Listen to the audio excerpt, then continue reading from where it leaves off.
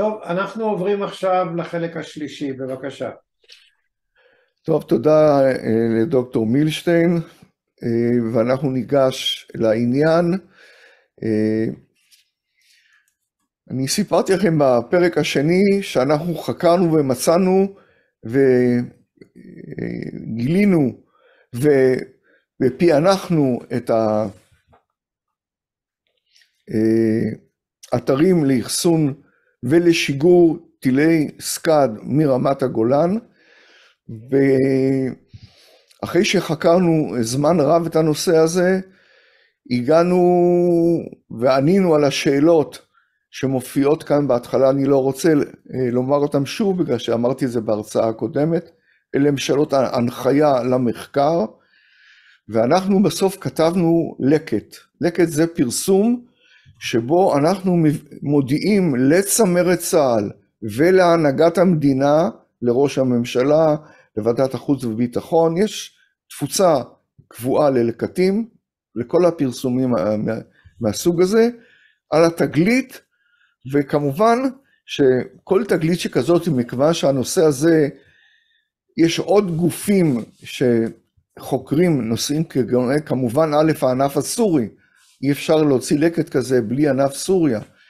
אי אפשר להוציא לקט כזה בלי הזירה הטכנית. ענף אחד הוא לא עם לבדד ישכון שהוא מגלה ומוציא, והיה בזמנו בחטיבת המחקר מאוד מאוד הקפידו על נושא התיאום, שכל דבר יהיה על דעת המקום ועל דעת הקהל וכן הלאה. אבל חוב הרעיון הוא כזה שאתה, יש לך איזושהי תגלית, אתה כותב טיוטה, אתה מעביר אותה למקבילים שלך להערות, הם משנים, הם מתווכחים איתך מה שצריך, ובסוף מגיעה טיוטה מוסכמת על דעת החברים בחטיבת המחקר לעוזר, לעוזר ראש אמ"ן למחקר, ובדרך כלל סגנו עובר על זה, מאשר, משנה, מתקן ומפיץ. אז מה הייתה הטיוטה אחרי שחקרנו ובדקנו את הנושא? אנחנו אה, מצאנו שבאזור האחסון של הטילים יש בונקרים גדולים במיוחד, יש גם בינוניים וקטנים. ולפי הממצא שלנו, הבונקרים הגדולים, כל אחד אה, אה, יכול לאחסן כ-30 טילים, 35 טילים, וזה בתנאי אחסון אופטימליים. אפשר לאחסן יותר, אבל מינימום אה, מדובר ב-30-35 טילים במבנה אחסון. יש שלושה מבני אחסון בכל אתר. כל אתר יש שלושה מבנים גדולים שמשמשים לדעתנו לאחסון הטילים. אז אם אנחנו רואים כאן צילום לוויין, איך נראה מחסן מן האוויר, אז הוא מוסווה היטב, לא רואים כמעט כלום, רואים רק את הכניסות של הרכבים שאמורים לשנע את הטילים מהמחסן לעבר מתקן ההרכבה. אה, בשרטוט שמימין, כאילו הסרנו את הגג, ואז רואים את מה שקורה בפנים. אלה הכניסות, ויש אולם שבו מאחסנים את הטילים, ולקחנו פשוט מידות, לקחנו את המידות של האולם, וראינו שהאולם הזה גודלו כ-30 על 30 מטר, ועשינו חשבון טכני שמופיע כאן, אם חותכים את המבנה הזה מכאן לכאן, אז אנחנו רואים בכל צד של המחסן 27 אה, טילים.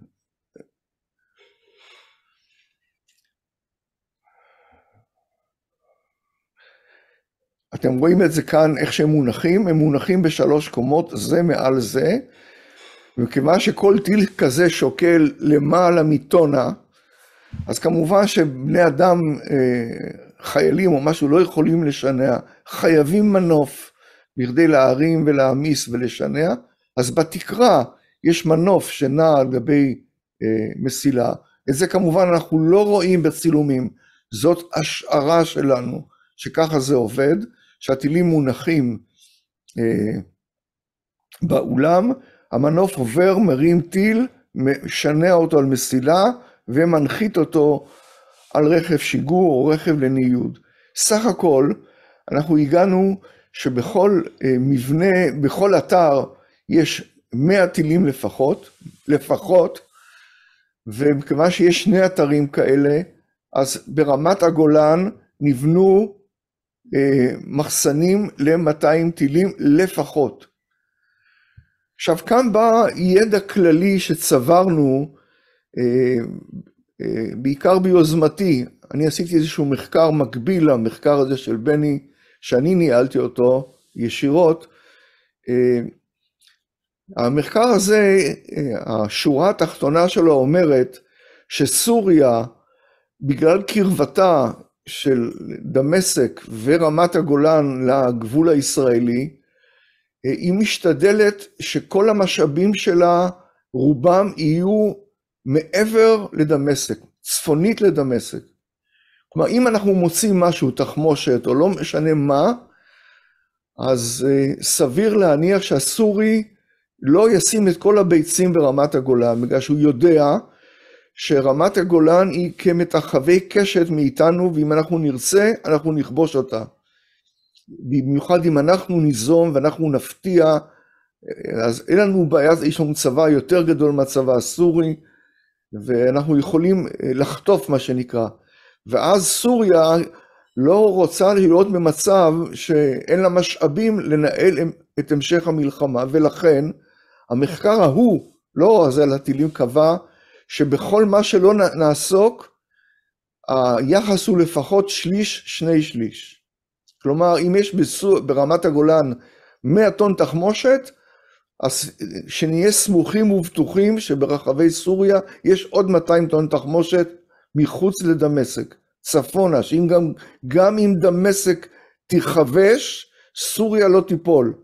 הם ייסוגו לחומס או למה שהם ירצו, ינהלו את המלחמה ויחזירו באיזשהו שלב את האבדה. ולכן, אם זאת, זה המחקר שאני ניהלתי בנושא העתודות של המדינה הסורית, אז מכיוון שאנחנו מצאנו ברמת הגולן מחסנים ל-200 טילים, סביר להניח שיש לפחות עוד 400 טילים אי שם ברחבי סוריה. אנחנו בשלב הזה לא ידענו להצביע איפה אותם 400 טילים או 600 וכן הלאה נמצאים, אבל לוגית לא סביר להניח שהסורים ישימו את כל הטילים שלהם ברמת הגולן, כשהמשגרים בכלל נמצאים צפון לדמשק. המשגרים זה העיקר, והם נבנו מחוץ, מצפון לדמשק. גם שהם לא, לא רוצים שכל המשאבים יהיו ב, כמעט בטווח התותחים של אה, צה"ל. ואם לא, ולא, אם לא התותחים, אז בטווח טילי הלאנס שיש לנו, שזה בערך כמו הפרוג, זה 70 אה, קילומטר. זה לא הגיוני, אם אתה מוצא משהו ברמת הגולן, אהיה סמוך ובטוח שיש עוד כמוהו אי שם בסוריה. ולכן, אנחנו משערים שסוריה מתכננת שיהיה לה מלאי של מינימום 600 טילים. עכשיו, מכיוון שהעסיקה אותנו במחקר שלה, למה הם בנו את האתרים וקידמו אותם במרחק 35 קילומטר מהמשגרים? מה הפריע להם לבנות את כל האתרים הנפלאים האלה ליד המשגרים? לא צריך לחצות את דמשק, להסתבך ולהיות בטווח של הרקטות שלנו. למה הם עושים את זה? מה הם מרוויחים מזה?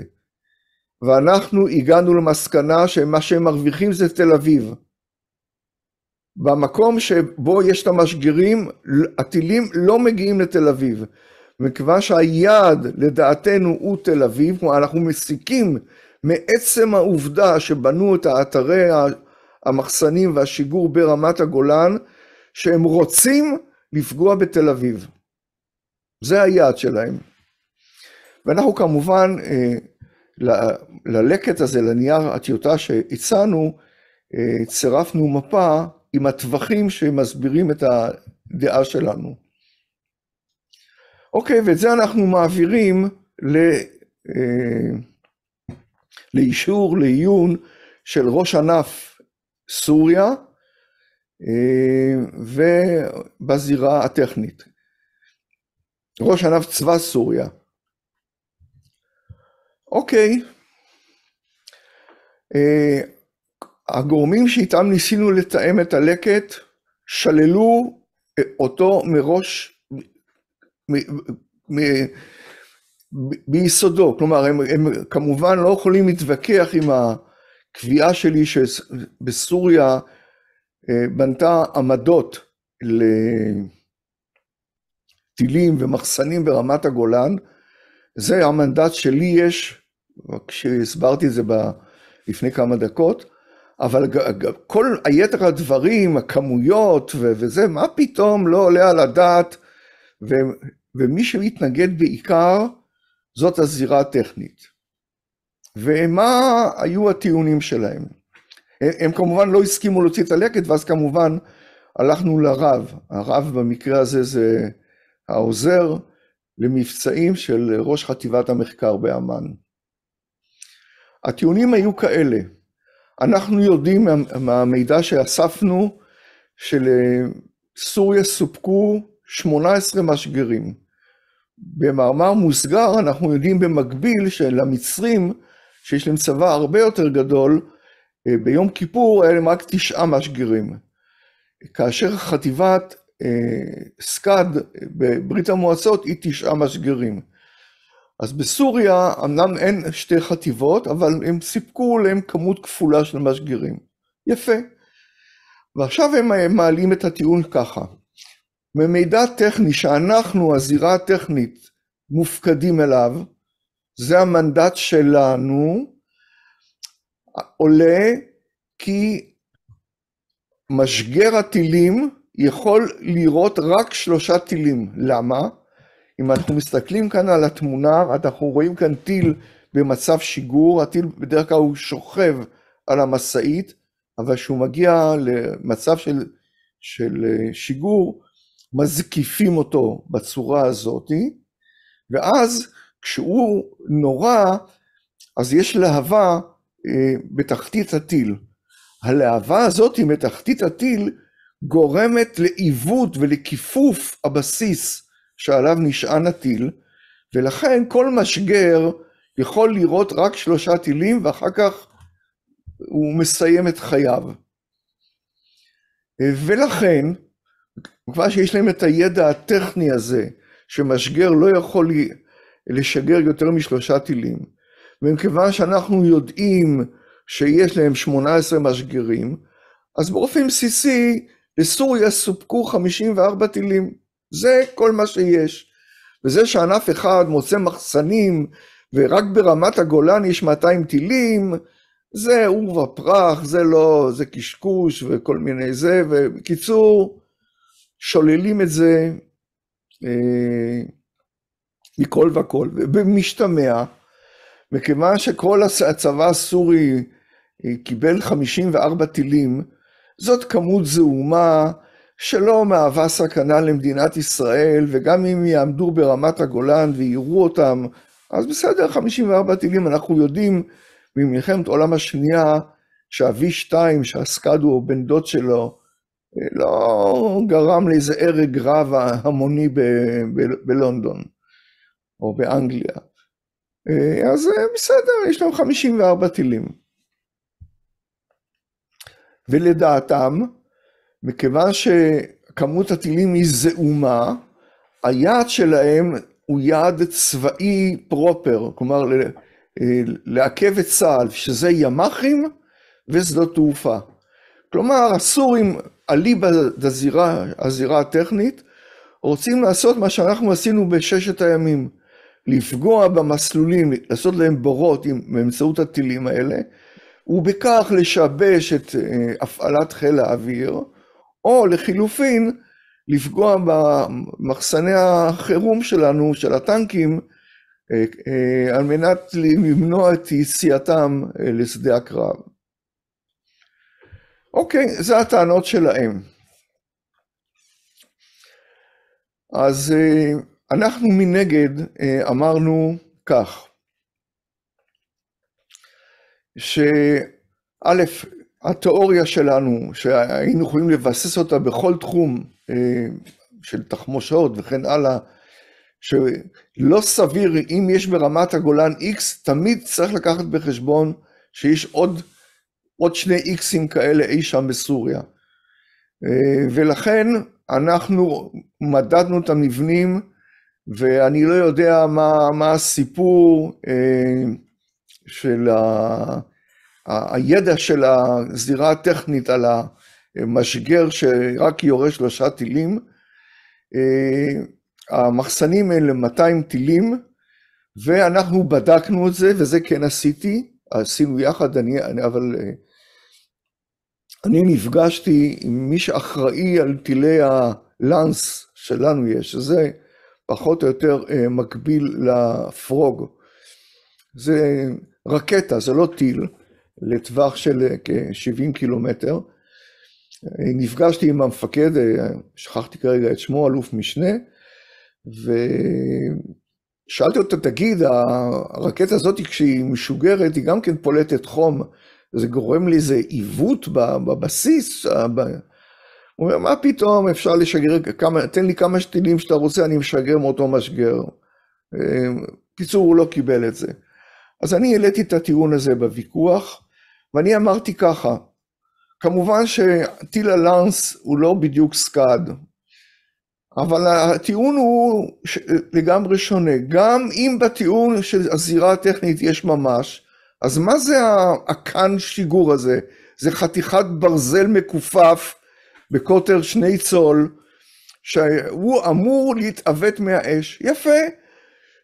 בסוריה יש הרבה מסגריות, ושיצרו להם עוד 600 אה, ברזלים מכופפים כאלה, ויחליפו כל שלושה טילים את, ה, את, ה, את הזה. עכשיו, אם לסורים אין להם מסגרים שיודעים לכופף חתיכת צינור בצורת חטא, מה שאתם רואים כאן, בואו נגיד שהם ממש פרימיטיביים שבה, שגם את זה הם לא יודעים לעשות, אז שישלחו הזמנה לסין, ובעבור חופן דולרים, כל סיני מצוי יודע לכופף חתיכת צינור. זה כל הבסיס שמתעוות מהאש של, ה, של השיגור. ולכן זה, אני לא יודע מה הזירה הטכנית מספרת לנו, הטיעון הזה לא נשמע לי הגיוני, וגם אם הגיוני, אז שייצרו להם עוד בסיסים. או שאולי רוסיה סיפרה להם בסיסים. אתם יודעים שאין להם עוד בסיסים חליפיים כאלה? אין לכם ידע כזה. ו... והיעד הוא תל אביב, בגלל שהם טרחו לקדם אותו לזה, אחרת מה ההסבר שלכם שהם בנו את אתרי השיגור ברמת הגולן, כאשר המשגרים מצפון לדמשק? מה מפריע להם לשגר מצפון לדמשק את הטילים על אותם שדות תעופה שאתם רוצים? הם פוגעים בלי שום בעיה, אין שום בעיה לעמוד מצפון לדמשק וליירות טילי סקאד על צפון מדינת ישראל, בגלל שהטילים גם ככה מגיעים עד נתניה. למה, של מה עוד להרוויח עוד 30 קילומטר האלה? אלה היו הטענות שלנו.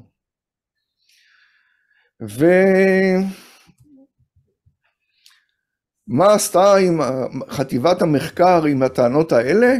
את זה תצטרכו להיעזר בסבלנות ולשמוע את זה בהרצאה הבאה.